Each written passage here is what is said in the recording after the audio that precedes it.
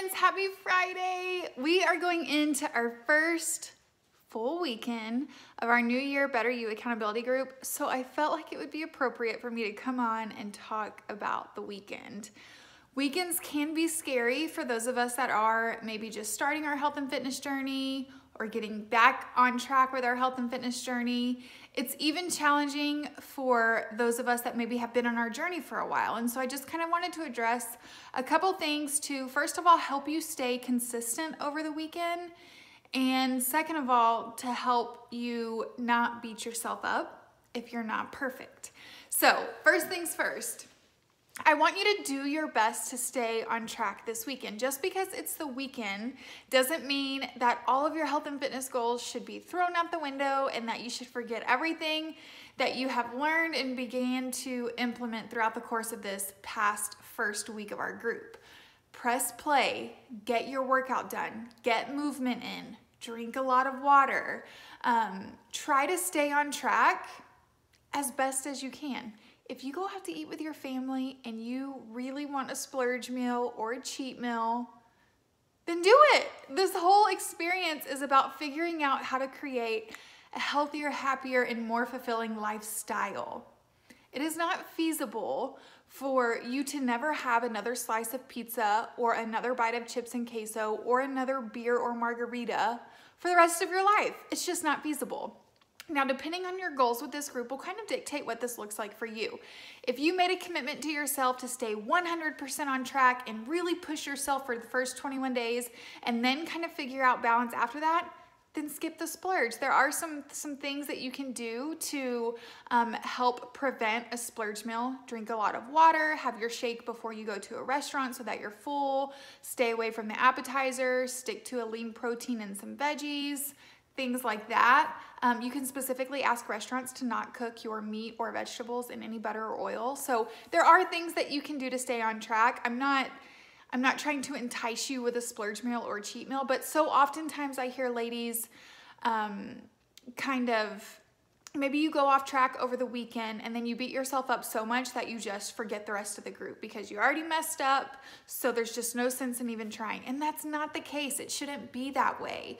If building in one cheat meal or one splurge meal or a treat or something you know once a week is a part of how you want to make this a lifestyle then go for it. Do it. And the most important part about it is to not beat yourself up about it. You make the decision as to if that fits your goals with this group. Commit to the decision, go through with it, and then move on. But as long as you're getting your workout in and as long as you're staying truly committed to what your intentions are with this group, you have no reason to feel guilt or shame for what happens. And I know that I'm talking about the weekend specifically because this is our first weekend of this specific group, but this is any any day of the week. If you um you know, if you go out to eat and you have every intention of staying on track, but maybe you had a piece of bread or you had a couple chips and queso or whatever, so what? So what?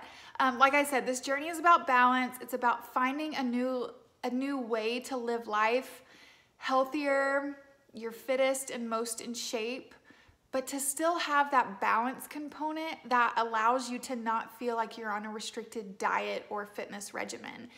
Our workouts are done in the comfort of your own home, 30 ish minutes a day.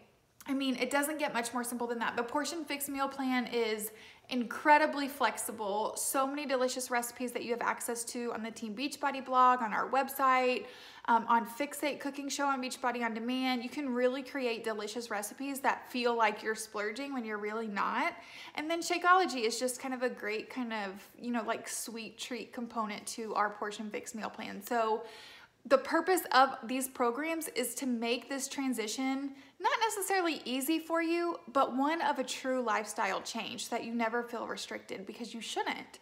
You should love the way that you feel when you fuel your body with nutritious foods and when you get movement in every day.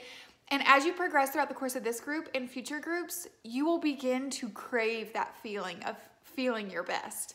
And staying on track will become a little bit easier. But I am here to tell you to not beat yourself up. Think about your goals with this group.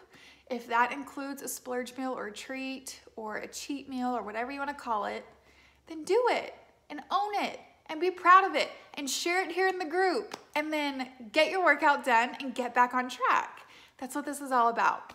So I love you ladies. I hope you have an amazing weekend. Continue to log here in the group. Um, share what you're doing this weekend. Be sure to check out those game day recipes on Fixate for the Super Bowl on Sunday and get your workout done every single day because if nothing else, that will at least make you feel a little bit better. So love you ladies. I hope you have a good rest of your weekend and I'll check back in soon.